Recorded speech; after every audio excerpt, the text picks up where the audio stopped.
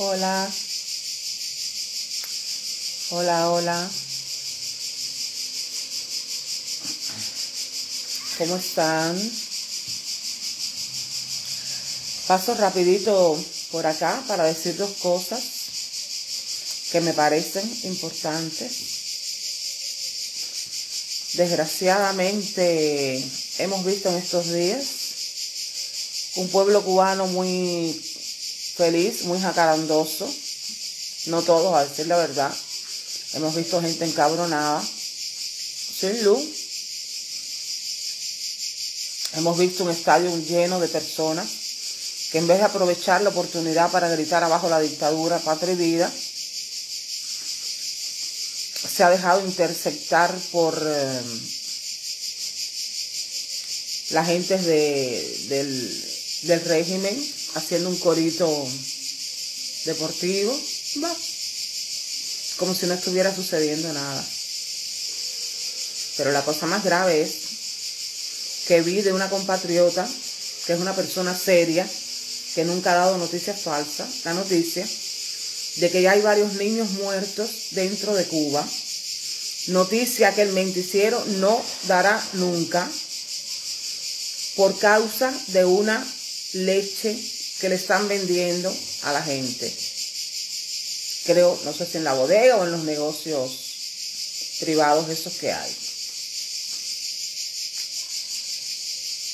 Señores, esto ya está, es una cosa pútrida, ya fue más allá de lo que podía ir.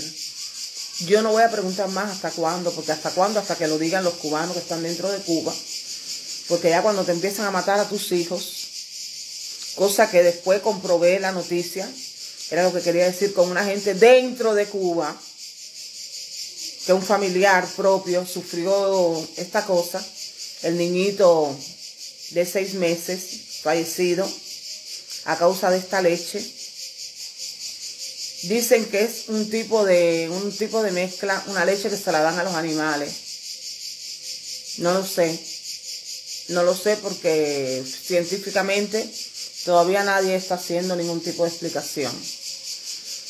Entonces si ya tus hijos se están muriendo o están matando a sus hijos ahí dentro, a bebés, a niños pequeños, a través de esta basofia, siguen callados, siguen callados, siguen sin salir a la calle. En este momento que todavía es un momento caliente porque están recién nombrados en, la, en la, en la Unión Europea, el régimen está recién nombrado, está recién propuesta la sanción y siguen calladitos. En estos momentos, dentro del Combinado del Este, otra noticia, chao yo, dentro del Combinado del Este hay una cantidad de presos con dengue que ustedes no se imaginan, señores.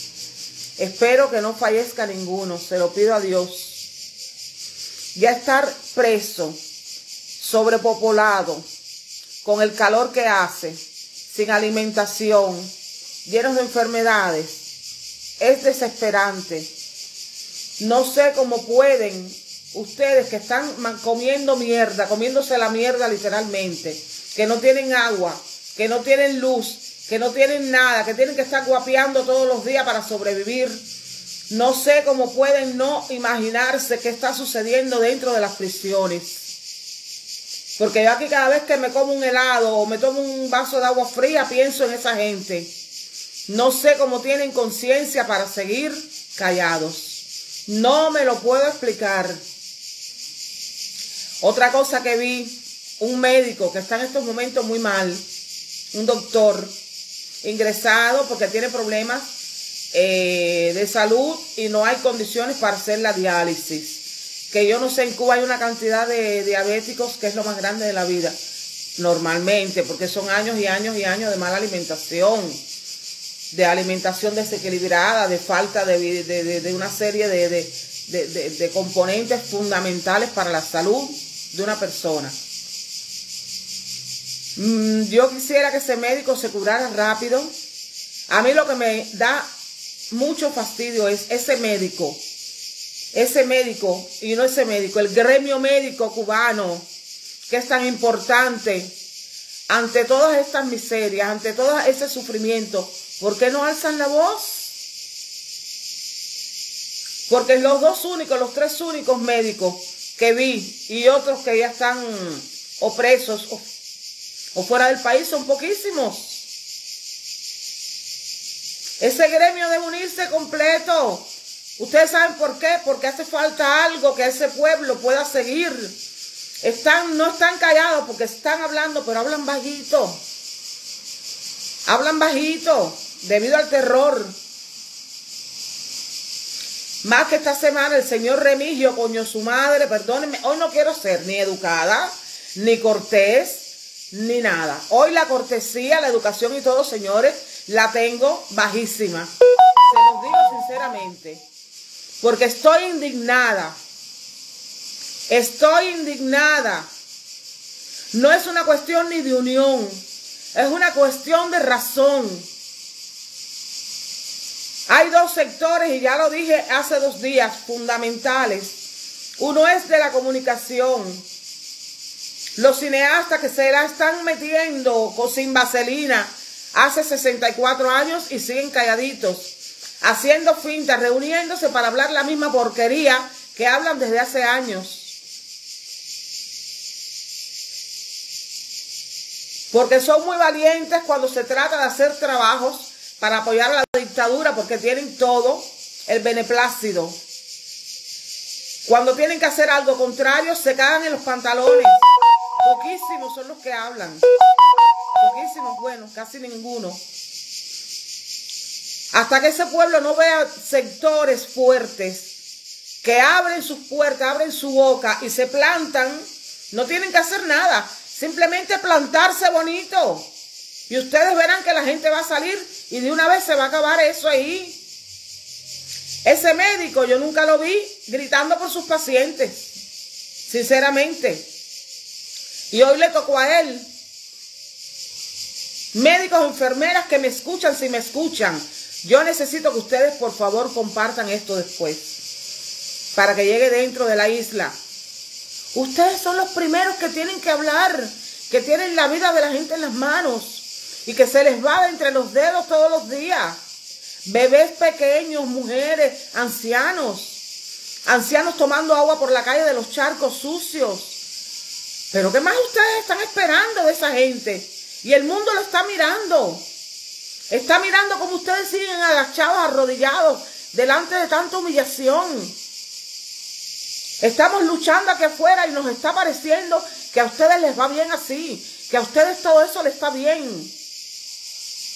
La tolerancia tiene una solia, una, tiene una, un punto de arribo donde más allá no se puede ir.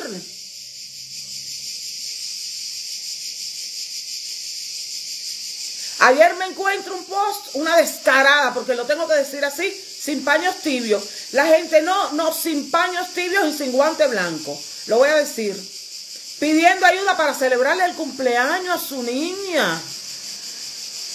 Señores, ¿a qué estamos jugando? Yo me tengo que quitar dinero de mi sudor para mandarle dinero a una descarada para celebrar un cumpleaños que no es una medicina, que no es una cosa necesaria. En un país donde el agua que sale por la piel está llena de mierda y de larvas. Entonces yo quiero hacerle una pregunta, pueblo cubano. Ustedes se están burlando de la, del exilio. Ustedes están prendiendo por el culo a la disidencia. Me pregunto, me pregunto, porque yo me siento, ya a este punto me siento hasta ofendida. Porque aquí no se duerme hace dos años. Nadie, no estoy hablando de mí, nadie el exilio, la disidencia consciente, no estoy hablando de la disidencia que de vez en cuando dice, se dicen opositores o contrarios y de vez en cuando te sacan un dedito o una banderita. No, no, no, de la gente que se levanta a las 5 de la mañana para colarse en una reunión de los zurdos, de la gente que va en giro buscando universidades y lugares donde meterse para hablar la verdad de Cuba, para que no engañen más al mundo. Chao Virginia, un abrazo, gracias por estar aquí. Por favor, cuando puedas comparte, así llegamos, necesito que esto lo oiga bastante gente posible, gracias. Entonces, como estaba diciendo, ya a esta altura me parece que es una burla a nuestro sacrificio. Porque ninguno de nosotros, se lo aseguro, que el más pobre fuera de Cuba, el más pobre fuera de Cuba, vive una vida digna. Yo me horroricé cuando vi ese estadio un apagado. Yo dije, ahora sí. ¿Hasta cuándo es el descaro de ustedes? Perdónenme, pueblo mío, que yo los adoro. Pero es que yo quiero la libertad de esos que están encerrados. Y ustedes con una nocuranza, con una despreocupación espeluznante, no son capaces de gritar de una vez que esas personas deben estar en sus casas, cuanto menos en la prisión más grande. Deben pasar de la más chiquita a la más grande, junto a sus familiares al menos. Esto es horrible. ¿Qué ustedes piensan? ¿Que ustedes están a salvo? Ahí no está a salvo nadie.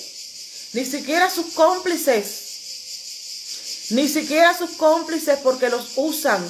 Y cuando no les sirven más, los tiran en un rincón. Ahora mismo Malafé volvió a limosnar aquí en España. Ustedes saben dónde va a cantar para cuando llegue a Cuba no digan el éxito de Malafé en una sala de un sindicato comunista, porque es ahí donde ellos merecen ir a pedir limosna. Comunista que venga aquí a dar un concierto, se lo vamos a mandar a putana. Sin medios términos. Hoy es un día que yo estoy súper indignada. Niños muertos, niños, les va a tocar a ustedes también. Al que está calladito, le va a tocar Todavía yo estoy esperando sentir las voces de esas madres que en el mes de enero, porque dicen que eran ocho, no eran once niños muertos en Hija de Galicia.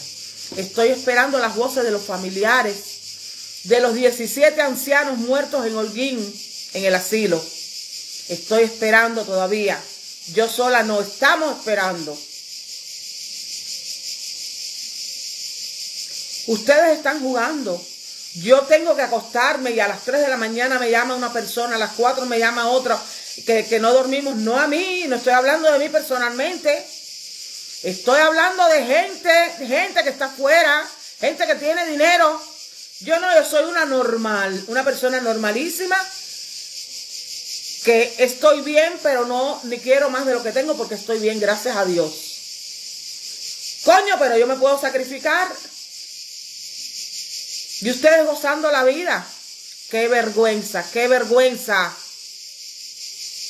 Estaba mirando de nuevo hoy una, un post de la familia Miranda Leiva, una familia perseguida, acosada, bulizada, que lleva años luchando.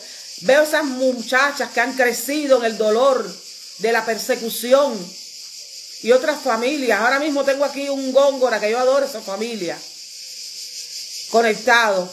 Señores, y ustedes siguen en eso. El otro día, protestas en La Habana por un apagón. ¿Más qué protesta? Salieron y se pusieron ahí porque qué alternativa. Al menos para hacer ver que eran presentes. Eso no es protesta. Eso no es protesta.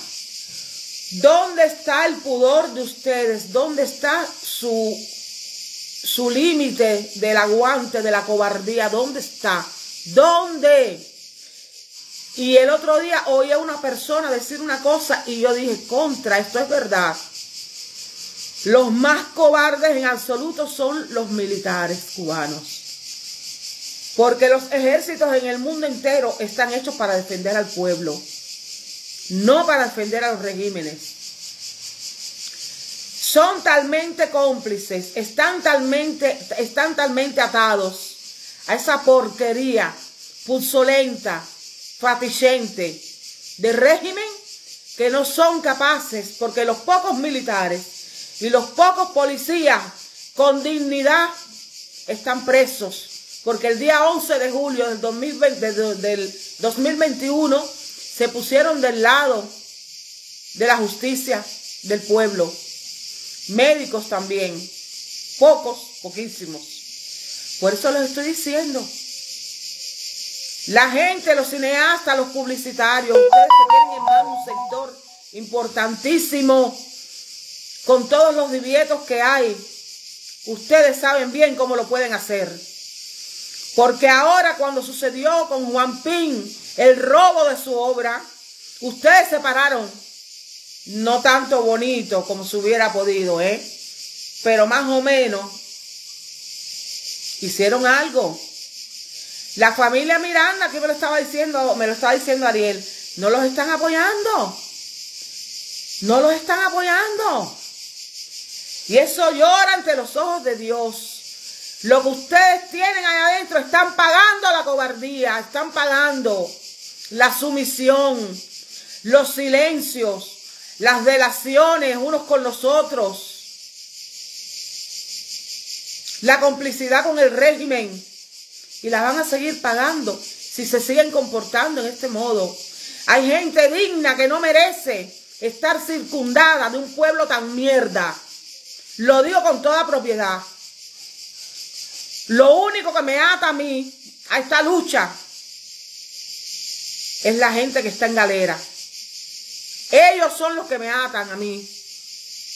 Ni siquiera los las barbaridades que yo sufrí en dentro de esa de esa maldita tierra. Porque está maldita, por, está maldecida. No por un santo ni por un supremo, está maldecida por las actitudes, por los comportamientos de ustedes.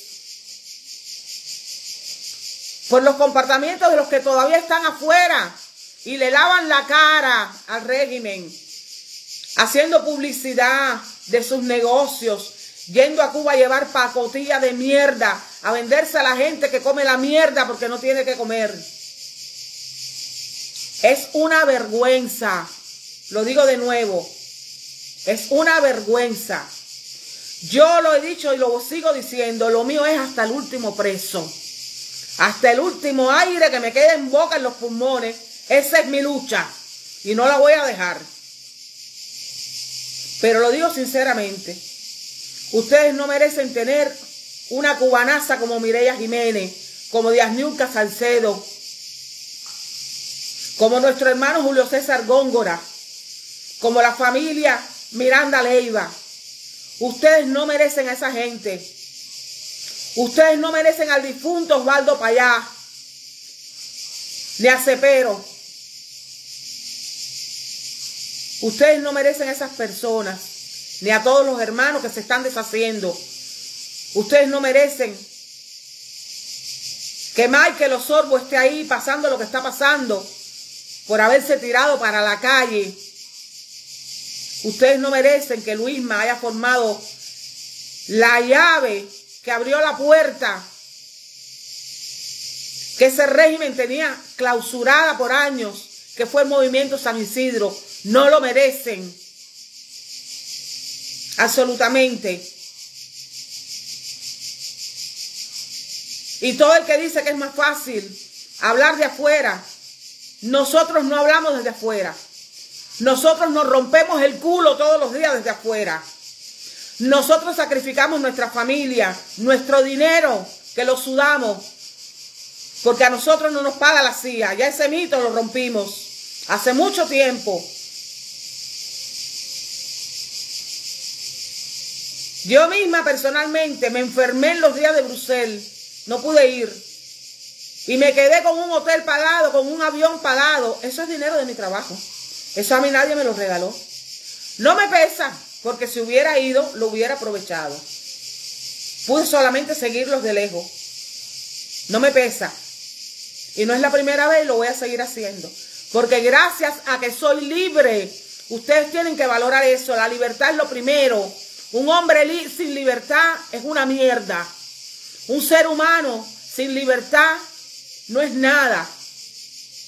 Gracias a que soy libre, puedo darme el lujo, aunque si lo pierdo, de gastarme X dinero en un avión, en un hotel, en lo que yo entienda. Aunque si no lo llego a, a disfrutar. Porque eso me lo da la libertad. A mí ningún sindicato me tiene que poner una guaguita para ir a levantar una banderita. Jamás. Lo hago de mi conciencia sola, acompañada como me dé la gana a mí. Como todos mis compatriotas. Síganse condenando. Ustedes se están condenando. Esa frase que dijo el señor Remigio el otro día, que amenazó de muerte a todo un pueblo, es un punto más a favor del pueblo cubano. Porque queremos que sean incriminados por crímenes de lesa humanidad.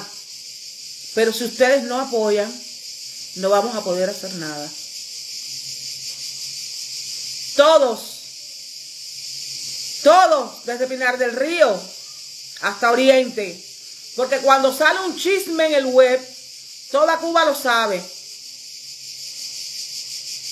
Porque cuando ustedes llegan a la hora de ver el show de Otaola, toda Cuba lo ve y me consta, me consta porque yo hablo con gente en Cuba que me dice a veces, te dejo que va a empezar Otaola. Toditos lo ven. Entonces si ustedes ven a Otaola, ustedes ven el contenido, ustedes están por el entretenimiento, no por la vida de mierda que están viviendo. Y ya se los dije, y ustedes lo saben.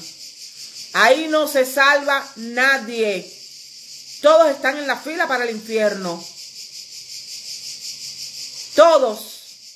Chao, Day, un abrazo. Oye, no nos pudimos encontrar. ¿Tuviste? De nuevo. No pudimos encontrarnos, hermana. Pero bueno, lo haremos. Tú verás. Estoy muy indignada, muy indignada. De verdad. Sobre todo cuando me comprobaron esta persona que tiene un familiar que le sucedió de esa leche que están vendiendo en Cuba que los niños están muriendo. Esto es lo último que se puede hacer. Ya cuando una madre, cuando una sociedad ve que las criaturas inocentes están muriendo y se quedan en la casa y no hacen nada, te quiero, te quiero yo también, tesoro. Es lo último. Entonces yo me estoy preguntando, de nuevo, yo me estoy preguntando, ¿por qué yo tengo que seguir penando por gente que quiere vivir así? ¿Por qué? ¿Por qué? Y no yo, estoy hablando de el exilio. Díganlo de una vez. Nosotros le servimos solo para hacer llegar medicina, para hacer llegar algo de comer cuando tienen hambre. Como la canción de los pollitos dicen pío, pío, pío, cuando tienen hambre, cuando tienen frío. Se van a la mierda. Se van a la mierda. Yo no mando una aspirina. Y se lo estoy diciendo a la gente. Única y exclusivamente para familiares de presos y presos y opositores. Punto. Punto. La clave es esa. Porque ustedes son felices, los vemos felices, bailando detrás de las congas. Los vemos contentos. Si ustedes son felices así, a nosotros que nos importa, vivan así. La única cosa que sí tenemos que tener presente y siempre bien plantados es que a los presos hay que soltarlos. Porque los están matando poco a poco. Hay chicos de 18, 17 años, personas que han rebasado la mayor edad, de la tercera edad, que llevan un montón de años sin causas delictivas detrás de las rejas pulsolentas, pestilentes del régimen de mierda Y ninguno de ustedes está salvo. Ninguno. Porque basta que el régimen así le basta para eliminar a una parte de la población sin ninguna piedad. Lo estamos mirando. Nadie es ciego. Y siguen callados. Chao, mi amiguita. Ay, mi amiguita, no te he llamado más, pero yo te quiero, tú lo sabes. Qué bueno que entraste. Estoy muy cabrona. Viendo todo lo que está pasando y que la gente sigue ahí.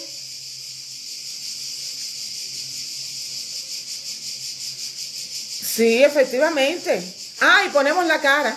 ¿Qué piensan ustedes? Que aquí a nosotros no nos asaltan, no nos ofenden, no nos hacen cosas. Porque yo, yo sola no, yo, yo he estado agredida. En la manifestación de Bruselas el otro día, Habana fue agredida. Saide fue agredido. Me estamos jugando. Sí, mi amor, te llamaré Sensaltro. Entonces esto no es un juego, caballero. Esto no es un juego. ¿Quieren vivir en la mierda? Nadie los critica. Nosotros, es más, somos personas que viviendo en países democráticos sabemos lo que es la democracia. Si ustedes quieren vivir en la mierda, felicidades, sigan. Nadie les dice que no. Pero no tienen ningún derecho, ningún derecho a pedirnos ayuda. No tienen ningún derecho. Porque ustedes no están haciendo nada por salvarse. Nada están haciendo. Y lo que hemos hecho nosotros aquí por años vale más que andar ahí, como dicen algunos, ven, ven, para coger un barquito, un avioncito y llegar ahí que te metan preso, una voz más callada. Y ustedes siguen en las mismas.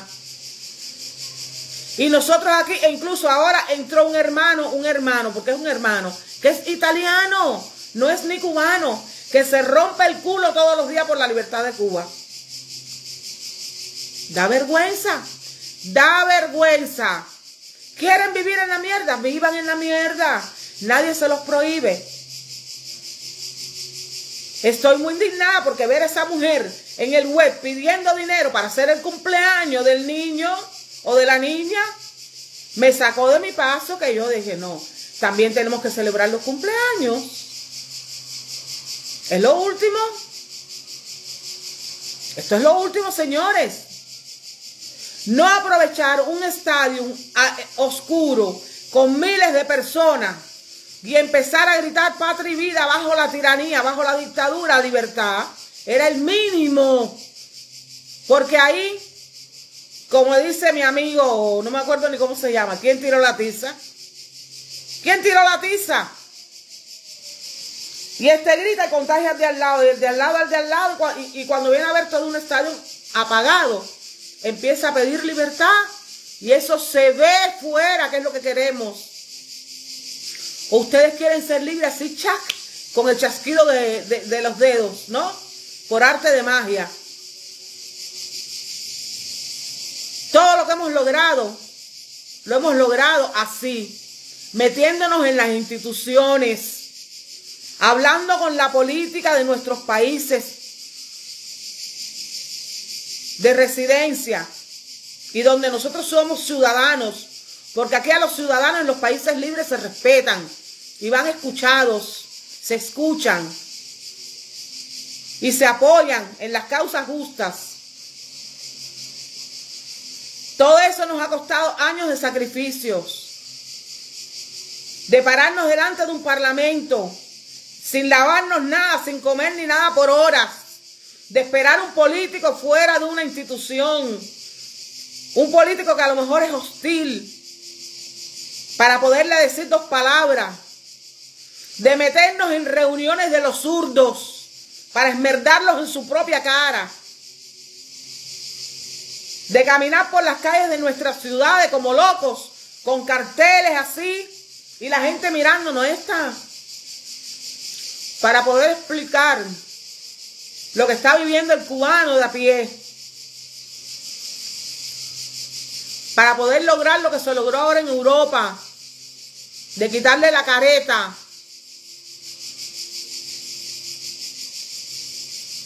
Todos los que, como estaba diciendo a eso la hermana Dayita, todo el que abraza esta causa, caballero, es grande. Todo el que la abraza. Porque esto no son cosas personales. No son cosas personales. Ya cuando empiezan a morir niños, hay que ponerse a razonar, coño. Se están muriendo, los están matando. Y ustedes con los brazos cruzados. Los están matando. Y lo sabemos todos. ¿Hasta cuándo vamos a permitirlo? Todo el que no sabe, a todo el que no sabe hay que explicarle lo que está pasando. Simplemente. Porque hay gente que tiene mucha cosa con Cuba. Cuba, qué bella Cuba, qué linda Cuba. Ve a vivir, coño, ve allí. Ve a ver con tus ojos. No tienen los cojones. Porque es muy cómodo. Donde hay luz, agua, gas, calefacción, ventilador, aire acondicionado, supermercado lleno, transporte. Claro, eh, viva Cuba, viva la revolución. Porque no te falta un coño. Es muy cómodo así. Es comodísimo. Que se lo vayan a decir a la, a, la, a la chica de 26 años que ayer se le murió su niño de 6 meses por la leche esa que le están vendiendo. Que se lo vayan a decir a ella. ¿Eh? O al médico que está grave ahora, porque no puede hacer la diálisis en un país que dice que es potencia médica. Potencia médica, ¿de qué caso? Si a mi hijo me lo mataron. A mi hijo me lo mató la potencia médica. Y yo por poco me muero. No jodan. Y vamos a seguir con lo mismo, la misma descarga, el mismo discurso, el mismo discurso. Aquí ya no hay más nada que hablar. Aquí hay que hacer ahora. Aquí no hay más nada que hablar, señores. Las palabras ahora sobran. Hay que accionar. Hay que moverse. No hay que hacer gestos súper... No, no, no, no, no, no hay que hacer cosas así. Hay que unirse a la lucha, punto. A la lucha razonable, a esta, la inteligente, a esta. Porque esa gente hay que sacarla de adentro de la cárcel. En primer lugar. Y no se puede permitir un fiscal general de un país de amenazar a toda una nación con la pena de muerte. Porque eso fue lo que hizo ese hombre el otro día. Este es el momento ahora, ahora que la cosa está caliente, que fuera están todos los observadores internacionales, de que la gente salga de verdad. Porque mientras vayan detrás de una conga, aunque si no, eh, nosotros estamos presentando todas las pruebas habidas y por haber, y documentándolo todo, y saben que es verídico lo que estamos diciendo, si no, no nos hubieran dado credibilidad. Mientras vean la gente gozando, bailando detrás de una conga, van a decir, pero si ellos lo quieren, ellos quieren vivir así. No es la mayoría del pueblo, sinceramente, porque después la gente te va a la conga, pero sigue hablando bajito. No vayas. No vayas porque le estás gritando al mundo cuánto eres feliz debajo de la bota de ese régimen. No vayas. Le estás gritando al mundo cuánto, cuánto estás conforme con las aguas albañales que pasan delante de tu casa. Le estás demostrando al mundo cuánto eres, estás contenta cuando te viene una fiebre de 40 y no tienes una aspirina para bajarla. O cuando tu madre se te muere en las manos por falta falta de una diálisis correcta. Estamos jugando Estamos jugando. Claro, claro. Claro, Johnny Miller, que la, potencia médica la tienen ellos para ellos, me estamos jugando. Más, más, más, cualquiera puede ser tan tonto para pensar que unas personas que viven en el capitalismo, en la cúpula, le falta algo de bueno. No.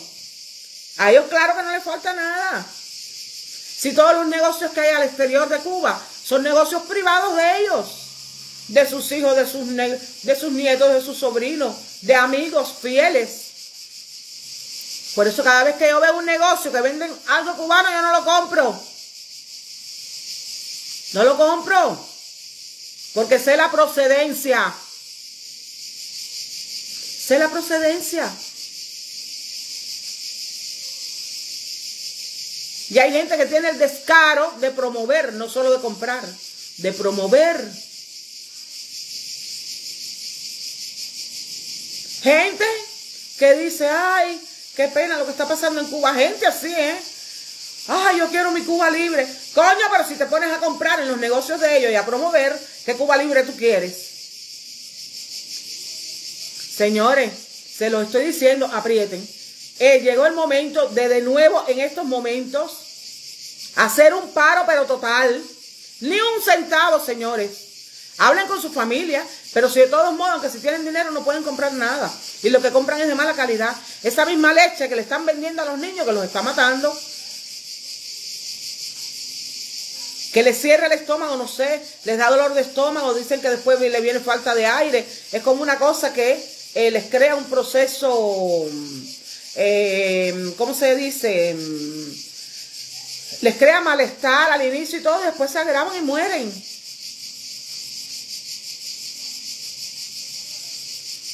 Yo no sé ustedes, yo se los digo desde el fondo de mi corazón, o se mueven o se mueven. Yo este discurso de libertad para Cuba, de la gente para acá, yo no lo voy a hacer más, sinceramente. No, lo voy a hacer más. No lo voy a hacer más. Mi lema y mi problema es hasta el último preso. El resto no me interesa, ni me va a interesar más. El que quiera seguir siendo esclavo feliz, que siga siendo esclavo feliz. Y por favor, los que pasaron por aquí, les pido de todo corazón que compartan para ver si alguien que no tenga las orejas tupidas puede escuchar esto.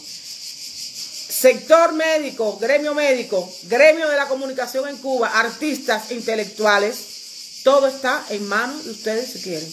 Esto es libertad para Cuba, patria y vida. Y libertad para los presos políticos. Esto es hasta el último preso, señores. Nos vemos. Chao.